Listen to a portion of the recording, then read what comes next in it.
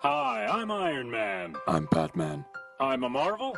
I'm Batman. Good for you. My origin movie was a critical and commercial success. So was mine. With a director who wanted to ground it in realism. So did mine. But aside from that, our films were very different. Very. My movie was designed to make you forget the hero was also a jerk. My movie was designed to make you forget about Joel Schumacher. In my next movie, Rhodey will become War Machine. In my next movie, Katie Holmes will become Maggie Gyllenhaal. I try to redeem myself after a near death experience. I try to redeem myself by giving near death experiences. Unlike some people who just give death experiences. Oh, do I detect a note of bitterness about my origin movie outgrossing yours? Seriously, Bruce, the market has spoken. I can't help it if people love me. Oh, yeah. A guy gets to live a hedonistic lifestyle until the age of 43, builds himself a giant toy to feel better about himself, and then fights crime all in the name of his name.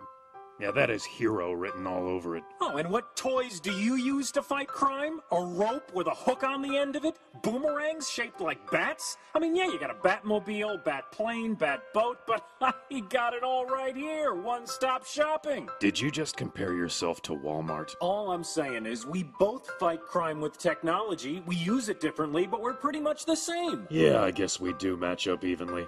By the way, when did you find time to master detective skills, criminology, and every fighting style known to man? In between visits to the Playboy Mansion? Well, forgive me if my idea of fun doesn't involve feeling around for a light switch in a dark cave. No, you do plenty of feeling around on your own. Whoa, Bruce, what's got into you? Yeah, Tony, this is no way for a hero to act. This won't solve anything. There's always a better way. Let's do it right. And take the high road. Am I right? Come on, what do you say? Here, hold this. What?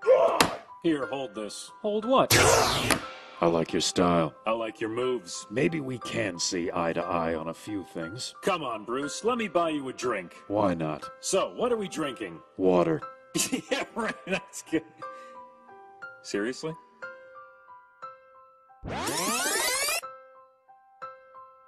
Hi, I'm a Marvel. And I'm the Joker.